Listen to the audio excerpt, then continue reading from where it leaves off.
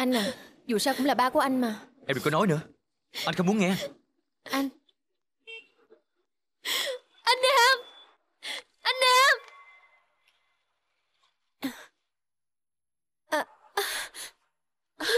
Thu Sương. Thu Sương Con sao vậy? Hả? Chị có sao không chị? Sương à. Anh Nam ơi Chị Sương bị cái gì nè? Sương à Em sao vậy? Bụng của em Bụng em đau quá. Mẹ ơi Vậy làm sao hả mẹ? Gọi xe cấp cứu đi con. Dạ.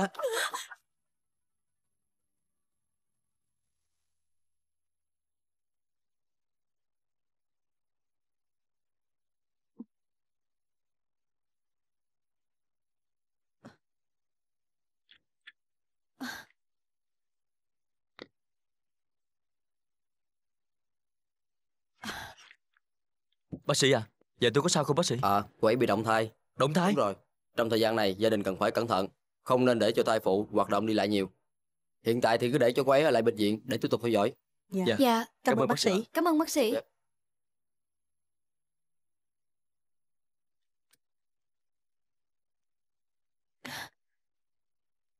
Thu Sương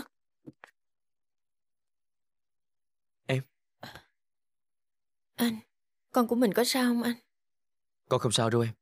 Lần sau nếu như mà có đau bụng á, thì phải nói liền nghe chưa Đừng có cố chịu đựng như vậy biết Ừ. chưa? Em đói bụng không? Anh mua gì cho em ăn nha. Dạ. Con đi mua nha mẹ. Ừ. Con mời gì ngồi. Mẹ ngồi đi. Ờ. Ngồi đi.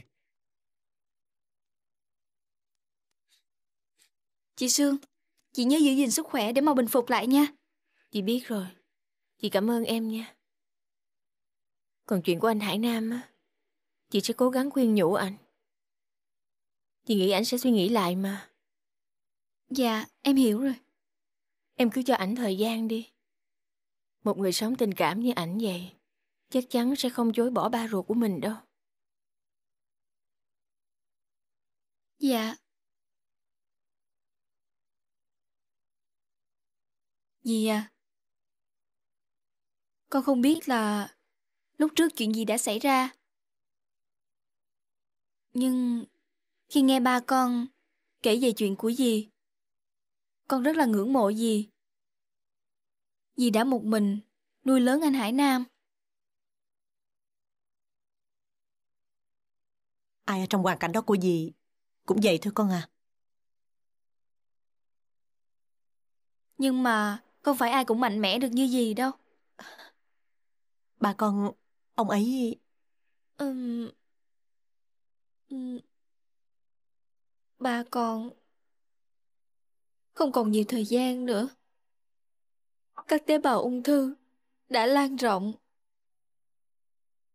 khiến cho mấy cơn đau của ba con ngày càng tăng nhiều hơn.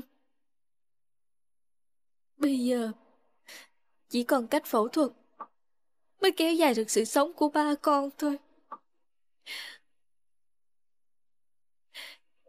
Nhưng mà ba con nhất quyết không chịu phẫu thuật. Vì ba con sợ phẫu thuật rồi thì ba không còn nhiều thời gian để làm những điều mà ba quan tâm.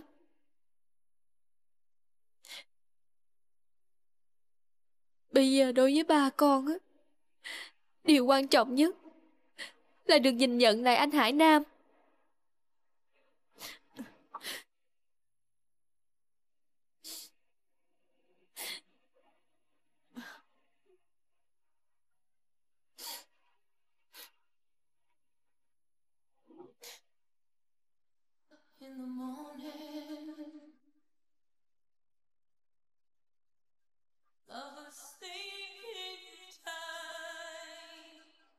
Hẹn người ta cho đã vô Rồi giờ này còn chưa tới nữa. Tức chết đi được.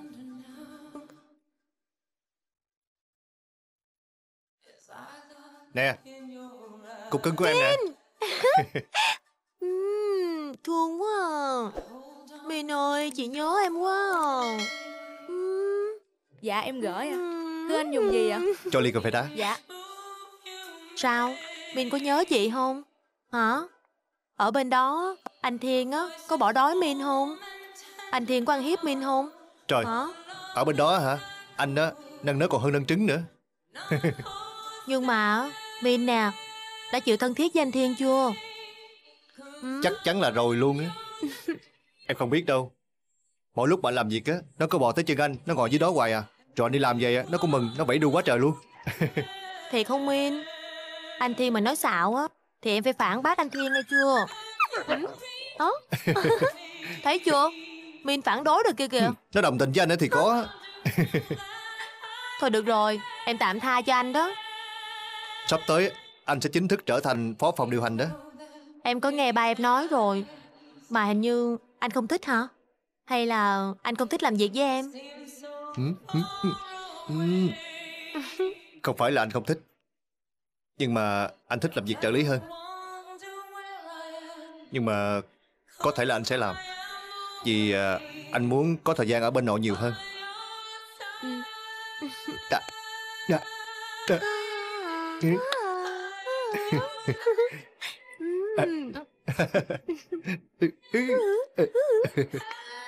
Anh Thiên.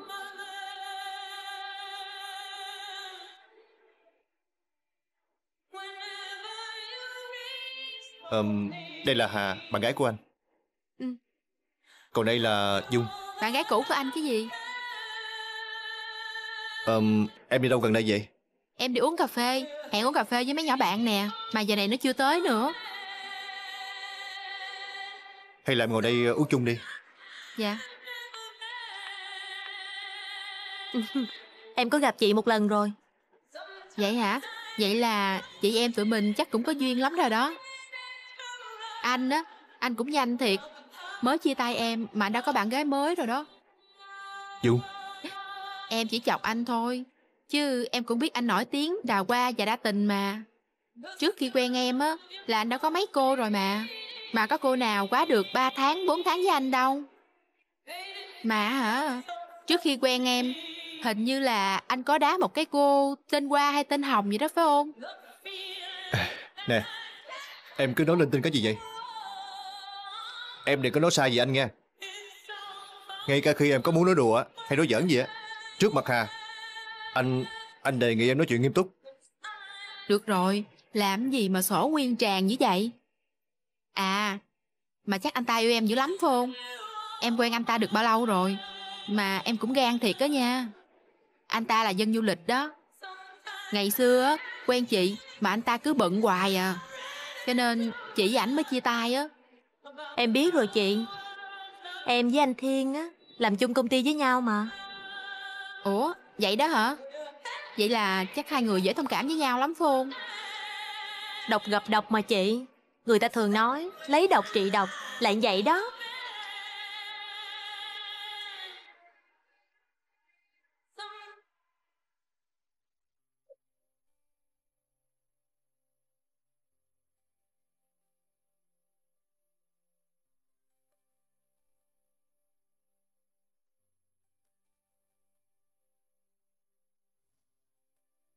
Nếu như mà chú quyết định cho con cưới nhà Phương Thì toàn bộ số cổ phần mà con đang có ở Việt Hạ Thu Con sẽ sang tên cho nhà Phương Ừ.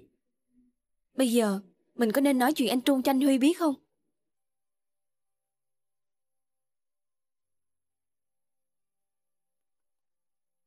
Mời vô.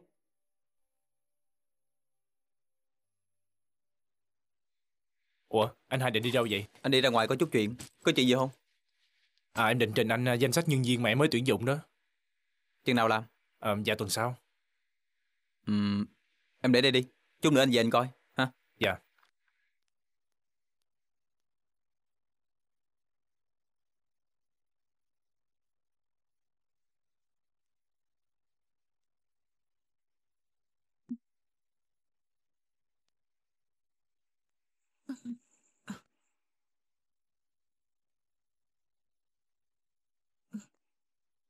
Thưa mẹ con mới về Con về rồi đó hả?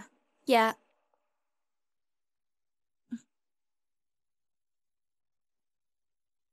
Ba sao rồi mẹ Ba con khỏe rồi. Mẹ đang bị choáng. Bác sĩ đang chích thuốc ở trển á. Ba đỡ hơn cho mẹ Mà càng nghĩ càng tức. Bệnh như vậy á. Mà cứ nằng nặc một hai đầu đi ra ngoài. Đi đâu chứ? Chắc lại đi qua nhà của mẹ con bà kia thôi chứ gì.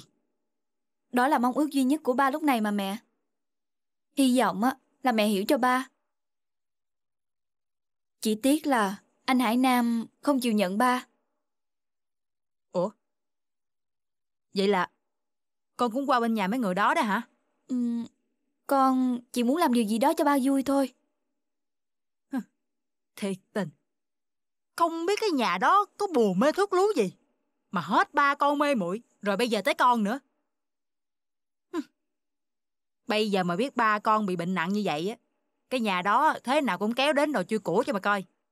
Mà với cái kiểu ba con á, thế nào thì con với mẹ cũng ra ngoài đường mà ở.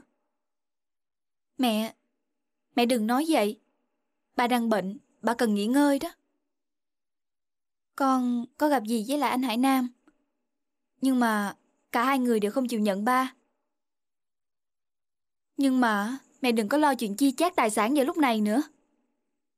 Mà con nghĩ bây giờ có chia cũng không sao nữa. Con cũng có công ăn việc làm ổn định.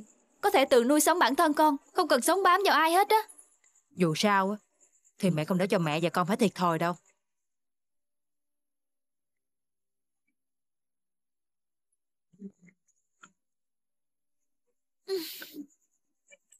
Nè, Em no rồi anh ơi. nó ra hả? Anh. Ừ? Em thấy ở trong người khỏe hẳn rồi. Hay là anh cho em xuất viện? Không có được đâu. Bác sĩ dặn á, là phải nằm ở đây theo dõi vài ngày. Nếu không, nguy cơ sinh non sẽ rất cao đó. Nhưng mà nằm ở đây hoài em khó chịu quá à. Ráng đi con. Chừng nào con khỏe hẳn á, thì chắc chắn bác sĩ sẽ cho con về thôi mà. Dạ.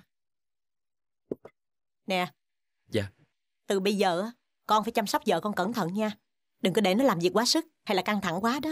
Con biết rồi mà mẹ à. Con biết rồi, lúc nào con cũng nói vậy. Mà lúc nào mẹ cũng thấy hai đứa làm việc không biết giữ gìn sức khỏe gì hết à. Rồi, mọi người vô đây. Ủa? Dạ, con chào gì? Con chào Chào Nam. cô, chào anh Hải Chào Nam. cô, Mọi người. cô. Chào tụi con. Chào anh Nam, chào anh Quy. Chào cô. Ủa mọi người có hẹn đi cùng nhau hay sao mà đông đủ như vậy? Đâu có đâu, tại nhà anh Quy nên mới biết chị Sương bệnh nè. Cho nên tụi em thu xếp đến thăm chị Sương á. Dạ. Bà này á, sao mà sơ suất quá trời đi à? Mang bầu phải cẩn thận chứ. Mà con so á, dễ bị sẩy lắm đấy. Đó. Cái miệng ăn mắm ăn muối không à? Vô thăm người bệnh mà nói toàn chuyện xui xẻo. Mấy đứa bớt ồn lại coi, để cho Thu Sương nghỉ ngơi. Thôi, tụi con ở lại chơi với Thu Sương nha. Dạ. Để dì về nhà lấy thêm ít đồ cho nó. Dạ, mẹ đi về. Dạ, Dạ, cô về, gì về? Ừ. Wow. Công nhận á, mẹ của anh Nam hiền ghê ha. Đúng là một người mẹ chồng kiểu mẫu đó. Hy vọng sau này mình cũng có được một người mẹ chồng như vậy á. Chứ cứ mỗi lần nghĩ tới chuyện mẹ chồng nàng dâu á là ừ, lạnh hết cả người. Thời buổi bây giờ không đến nỗi như bà nghĩ đâu. Quan trọng á là mình sống và đối xử với người ta như thế nào. Thì người ta sẽ đối xử với mình lại như vậy thôi. Đúng không? Ừ. Đúng đấy. Ờ, mà nè. Hình như là tôi thấy á, vợ chồng nhà này á, có duyên với lại bệnh viện lắm đó nha. Ờ. Lần trước á, thì nguyên cả phòng vào thăm chồng. Bữa nay thì lại thăm vợ. Mai mốt thì lại thăm con. Ờ, Đó, đó, đó, đó. Cái miệng lại ăn mắm ăn muối nữa rồi đó. Nói toàn chuyện xui xẻo không à. tôi nói không đúng hả? Thì mai mốt thu xuôi sanh con. Tụi mình cũng phải vào thăm bé con chứ. Đúng không? Ờ. Bộ, ông không muốn đi thăm đúng không? Đương nhiên rồi. Ừ, Anh Hải Nam, công công ty có chút quà biếu cho Thu Sương. Thôi, mọi người tới thăm là vui lắm rồi, quà cáp gì? Thôi anh nhận đi. À, thôi, hai Nam cứ nhận đi. Đó là quà của công đoàn công ty mà. Ừ. Dạ, anh nhận Cảm ơn mọi người. Nam. Nhận đi. Cảm ơn mọi người rất nhiều. nha. Thu Sương nhớ ăn uống đầy đủ, giữ gìn sức khỏe nha. Mấy đứa bớt ồn lại coi, để cho Thu Sương nghỉ ngơi.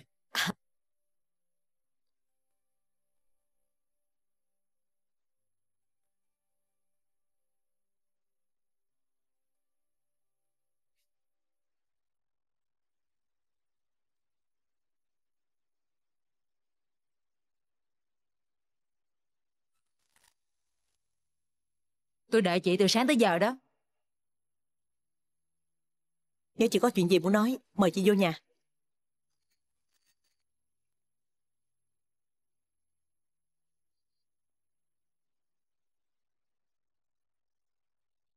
Mời chị. Coi bộ cuộc sống của hai mẹ con chị cũng không đến nỗi nào. Tiền lời từ quán phở chắc cũng đủ để sống dư giả ha. Chắc chị không tới đây chỉ để hỏi tôi về lợi nhuận của quán phở chứ. Dĩ nhiên, tôi đâu có rảnh. Chắc chị cũng biết, ông nhà tôi đang bệnh. Mà thường những người sắp chết á, thường hay hối hận những chuyện đã qua. Cho nên lúc nào ông cũng nhắc tới chị và con trai chị. Điều đó làm tôi không vui chút nào. Dù sao thì hiện tại, tôi mới chính là vợ của ổng. Xin lỗi, ý của chị là sao?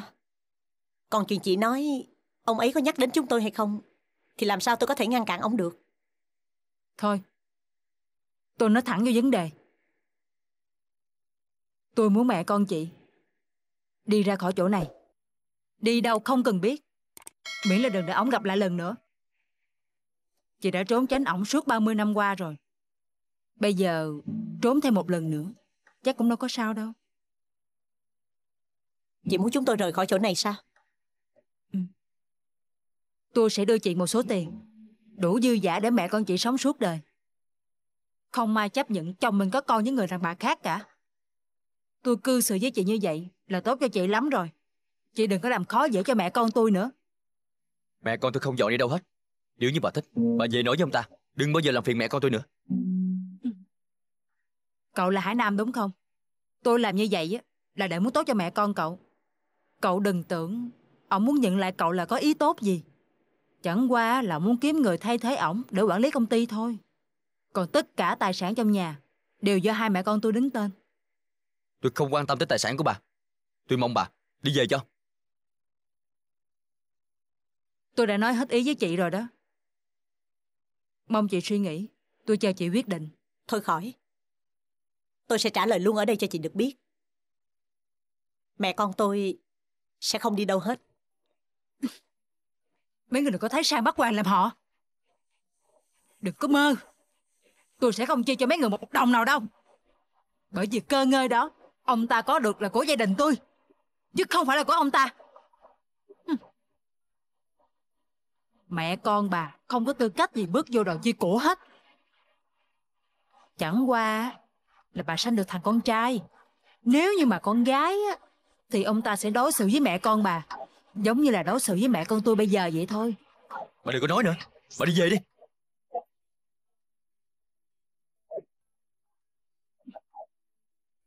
Đừng có mơ.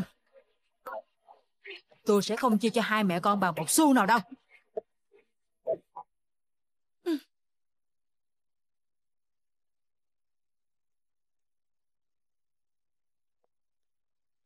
Mẹ à, bà ta chửi mẹ thậm tệ như vậy. Tại sao mẹ chỉ im lặng thôi? Chuyện nhỏ thôi mà con. Ủa, mà con về đây rồi ai ở trỏng với con Sương? Con nhờ mấy cô y tá trong chơi giùm con. Con nói là công ty có chuyện gấp. Vậy thôi, để mẹ vô soạn đồ rồi vô trỏng với nó liền. Dạ.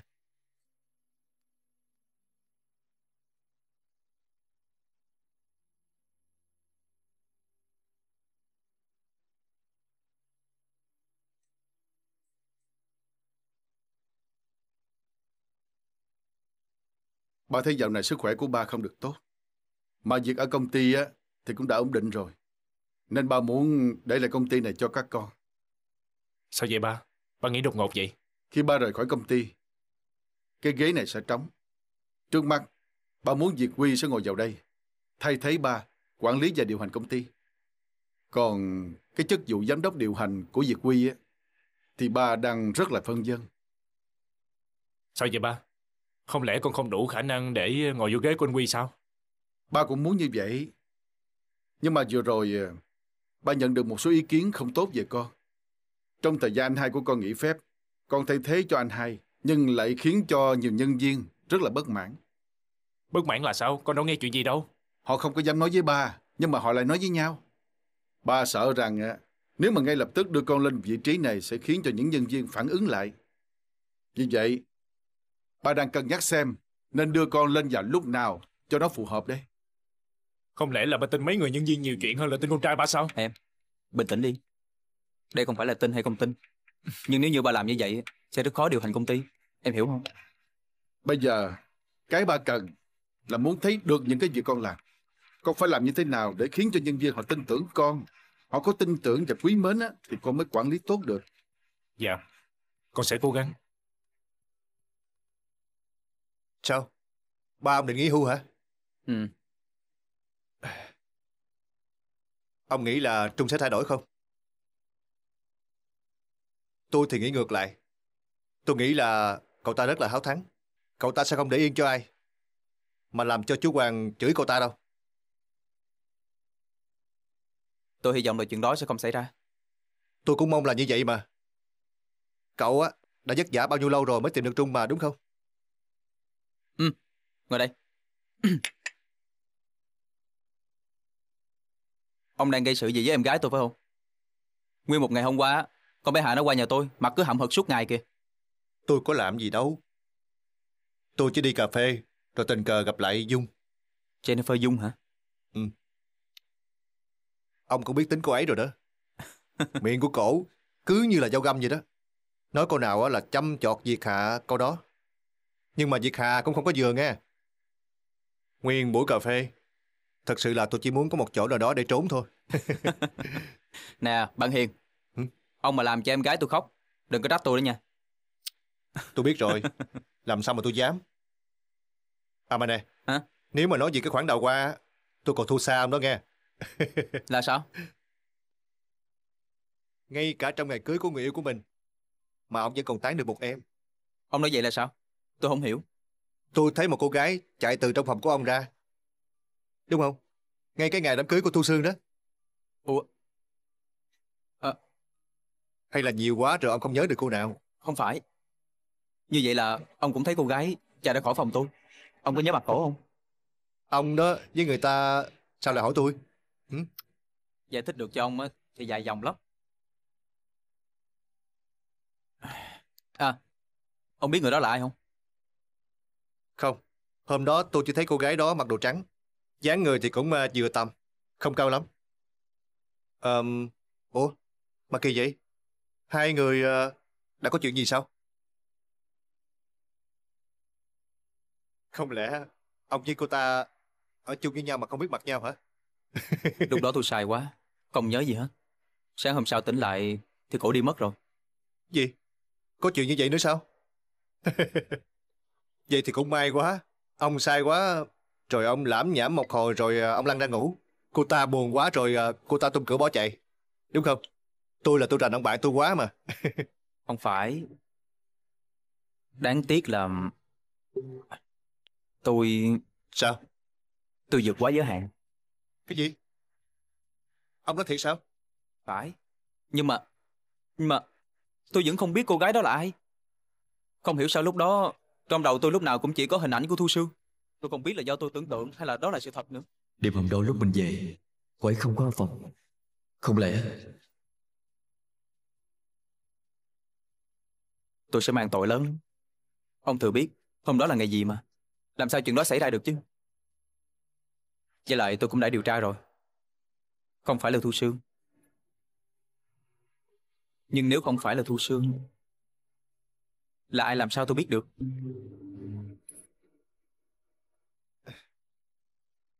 Chị coi coi có tức không? Ông lúc nào cũng thiên vị cho anh ta hết. Điều đó cũng đúng thôi.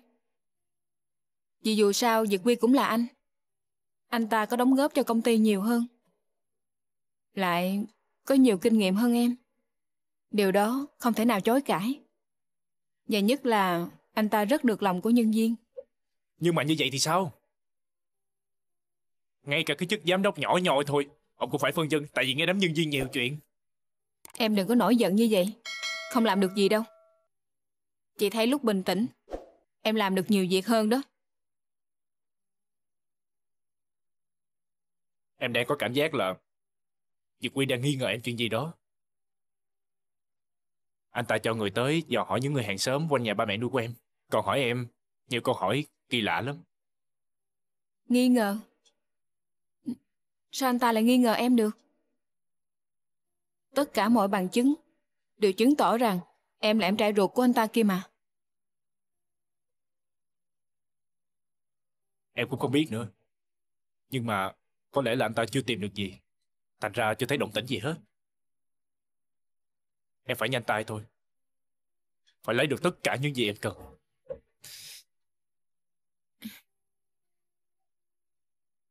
Chỉ cần có được chức giám đốc, Em sẽ lấy được thêm nhiều thứ nữa Với chừng đó, Cho dù có bất cứ chuyện gì xảy ra, Thì em cũng có một số vốn kha khá Và điều quan trọng nhất Là em phải lấy cho được Nhã Phương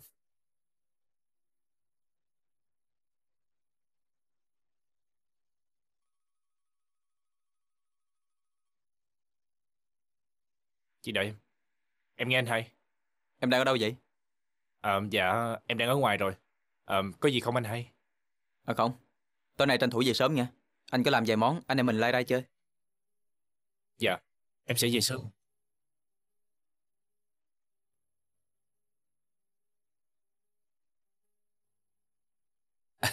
À. Chào em, nãy giờ ờ, đợi lâu hả? Uống nước đi. Dạ. Ờ, em tới lấy sợi dây chuyền mà tuần trước em đặt anh. Ờ, đây nè, của em nè. Giống của anh hả? Vậy mà em tưởng là sẽ không làm được chứ. Không khó lắm đâu. Tuy là giống nhau, nhưng khác loại đó. Cộng của em đeo là loại A. Còn chưa có qua xử lý. Hoàn toàn là thiên nhiên á. Còn cái cộng này á, đã qua xử lý hóa học rồi. Nên hơi khác một chút. Vậy sao anh? Ừ. Em cảm ơn anh.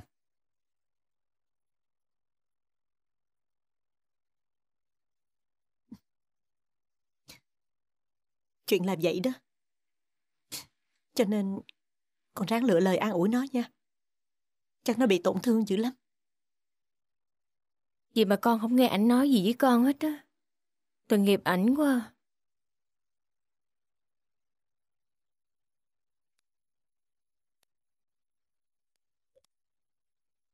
Cô chào mẹ. Ủa, Mẹ, con tới rồi hả? Con ở lại với Thu Sương nha, để mẹ đi mua cháo cho nó. để con đi mua cho.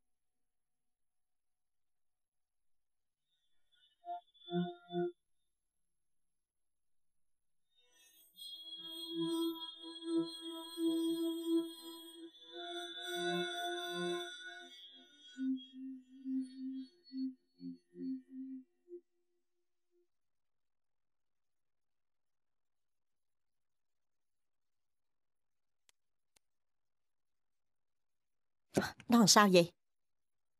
Chắc là ảnh buồn vì chuyện bà Châu tới đó mẹ.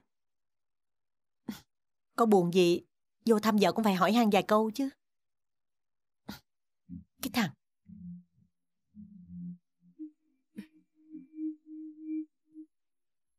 Tôi đã thử ADN, coi nó có phải là con của con tôi không, thì mới cho cưới được chứ. Tôi thấy con nhỏ đó, tưởng nhà tôi giàu, nó lừa con tôi làm sao? Thằng con tôi á, thấy nó vậy chứ nó khờ lắm, nó không biết gì đâu. Thử ADN, đứa bé còn trong bụng, nguy hiểm lắm. Bây giờ đã có xét nghiệm ADN huyết thống. Trước sinh không xâm lấn, sử dụng công nghệ SNP tiên tiến an toàn lắm. Chỉ cần lấy máu người mẹ mang thai từ tuần thứ bảy trở đi là được. Trời ơi, thời buổi khoa học, tiên tiến, Dạ. có cái lợi ghê ha.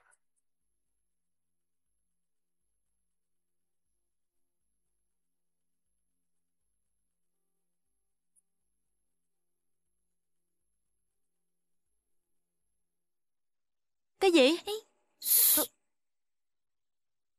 Anh Trung định chuyển cổ phần cho bà thiệt á hả? Tôi cũng không biết ảnh đang muốn cái gì nữa. Không được, tôi phải nói chuyện này với anh hai. Ơ, nè, ngồi xuống. Không được đâu. Bây giờ bà có nói cho anh Huy biết cũng không có ích gì đâu. Anh Trung mới ra điều kiện, chứ chưa có nói gì hết á. Mà tôi cũng không muốn chuyện này làm hai anh em sức mẻ tình cảm với nhau nữa. Khó khăn lắm, anh Huy mới tìm được em trai của mình đó. Nhưng lỡ như anh Trung định bán công ty của nhà tôi cho ba bà thiệt rồi sao? Tôi không có nghĩ vậy đâu. Tôi nghĩ là hay là anh chỉ đem cổ phần ra để ba tôi chấp nhận thôi à. Anh ấy không thể làm vậy với anh Huy được đâu. Thôi, tùy bà đó. Nhưng mà nè, lỡ mà có chuyện gì á thì phải nói cho tôi biết liền nghe chưa? Ừ, tôi biết rồi. Nhất định tôi không để chuyện đó xảy ra đâu. Ừ, nhớ đó. Thôi chết rồi. Gì vậy? Tôi có hẹn với anh Thiên Hẹn với anh Thiên hả? Hmm. Dạo này á, thấy si mê anh ta lắm rồi nha. Thôi, đừng có nói tầm bậy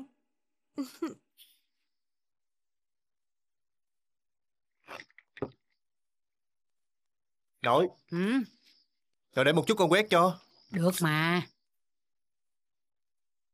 Nội Nội vô trong nhà nghỉ đi Con dọn được mà Thôi, con dọn cũng được. Nội vô trước, nhưng mà nè, con dọn dẹp xong rồi vô ăn cháo nha. Nội nấu cháo gà ngon lắm đó. Dạ Con biết rồi mà Đi Thôi, nịnh quá đi. Nội vô nghỉ đi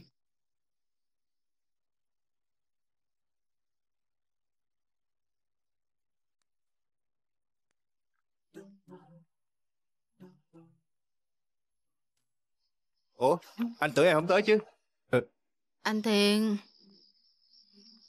Thùy Dung thì ra là anh đang chờ một người khác. Vậy mà làm em mừng hụt luôn á. Em tình cờ đi ngang đây một chút xíu thôi à, rồi em đi liền á. Em không có làm phiền đến hai người đâu. Thùy Dung Em muốn được phải không Không có. Mà em muốn có tí xíu à. Tại em buồn quá à. Biết vậy á, hồi nãy em rủ anh đi chung rồi.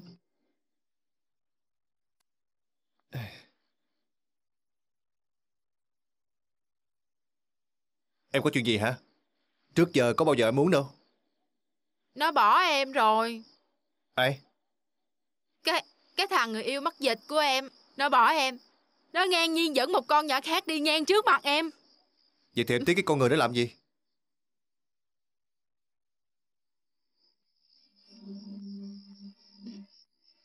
Em đâu có tiếc hắn. Người em tiếc chính là anh kìa. Dung Nếu bây giờ em muốn chúng mình làm lại, anh có chịu không? Đừng mà Dung Em nói giỡn thôi. Ừ. Em có lòng tự trọng của riêng em chứ. Đúng không anh? Anh Thiên Hả Thì ra là như vậy Vậy mà tôi cứ ngu ngốc đi tin lời anh Hả Hả Hả ơi Hả Mình lại gây ra chiến tranh nữa rồi. Thôi kệ đi. Mình cũng đâu có ý đâu.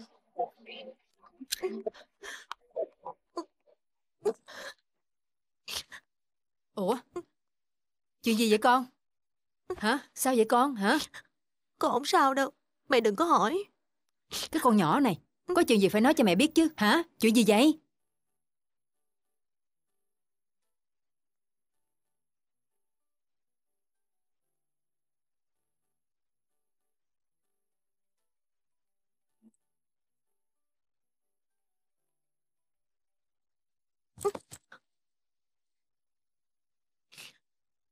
Hai đứa có chuyện rồi phải không? Mà nó làm gì con giận dữ vậy? Mẹ nói rồi mà con có nghe đâu. Có được cái trò trống gì đâu. Chỉ được cái mã bên ngoài để lừa con gái nhẹ dạ thôi hả? Đó, giờ con tin mẹ chưa? Mẹ đừng nói nữa Con không muốn nghe đâu Mẹ đi ra ngoài đi Con xin mẹ Con xin mẹ mẹ đi ra ngoài giùm con đấy Con không muốn nghe nữa Trời đất ơi, cái con nhỏ này. Thôi được rồi, nếu như con muốn vậy mẹ bỏ mặt con luôn á.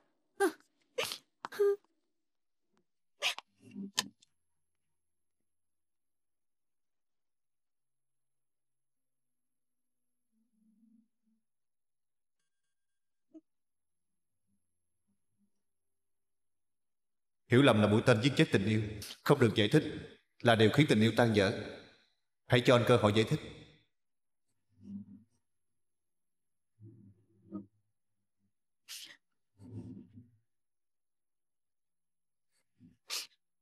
Cái tình là phần đáng ghét. Dám làm cho mình khóc nữa chứ. Em ghét anh lắm, anh có biết không?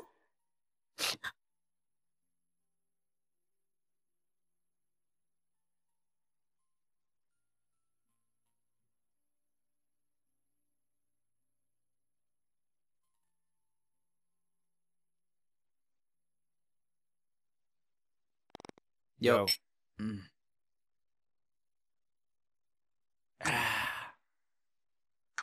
Bữa nay là cái ngày gì mà Anh mở tiệc ở nhà vậy. Sao đi ra ngoài đường ăn cho đỡ mất công dọn dẹp? Không, chỉ hai anh em mình nhậu với nhau, ra đường chi cho nó cực. Với lại ồn ào lắm. Ở nhà đi, dễ chịu hơn. Vô. Vô. Chúc mừng anh hai. Tuổi trẻ mà tài quá cao. Chưa gì đã lên tổng giám đốc rồi. Em thì chắc chắn không bị kịp với anh rồi. Bậy bạ quá, vô.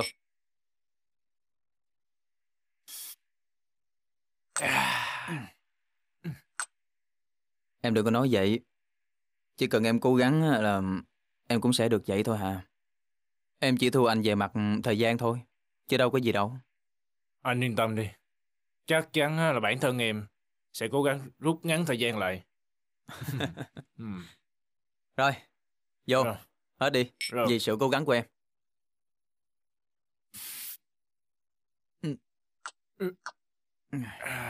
Ừ. À, anh đi đâu vậy? Ừ, vô đây. Gì mà anh đi hoài vậy? Ừ. Anh Chịu làm không vàng nổi. quá. à.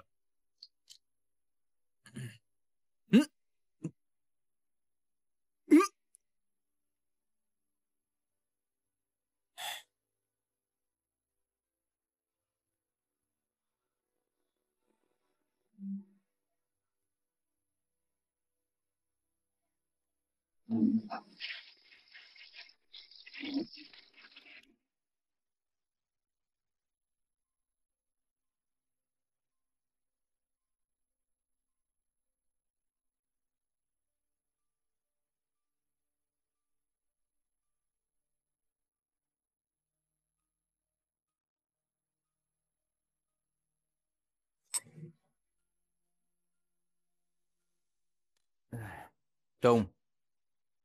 Trung.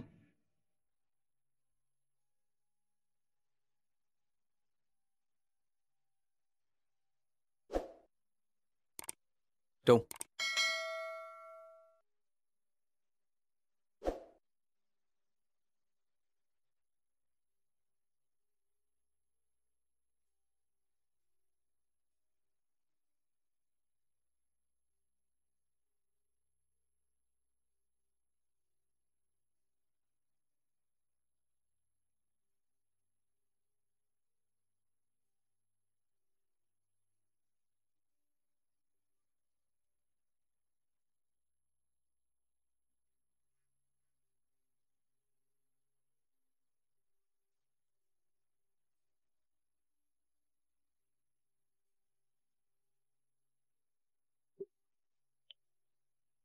Xin lỗi em. Vì anh phải dùng cách này.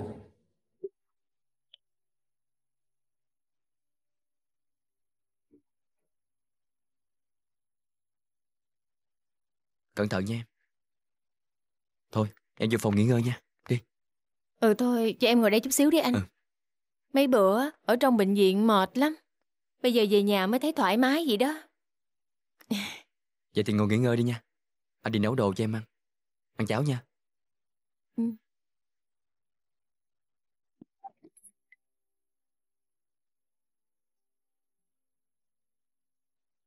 Nam ảnh... Dạo này nó cứ như người mất hồn vậy á. Mẹ cũng không biết nói làm sao với nó nữa. Nè, thôi con vô nghỉ ngơi đi, để mẹ ra coi quán. Dạ, mẹ cứ ra coi quán. Con ngồi đi chơi chút xíu rồi con vô con nghỉ nha mẹ. Ừ, mẹ đi nha. Dạ mẹ.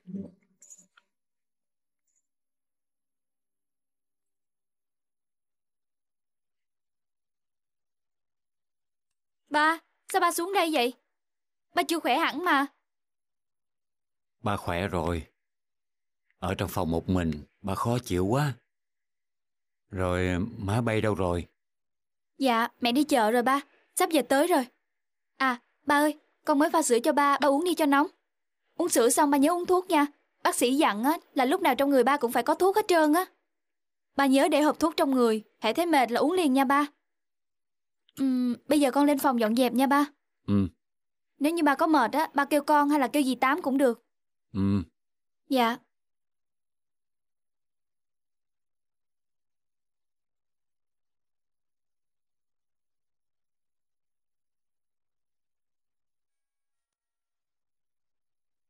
Dì Tám ơi, có khách kìa, ra mở cửa đi. Dạ.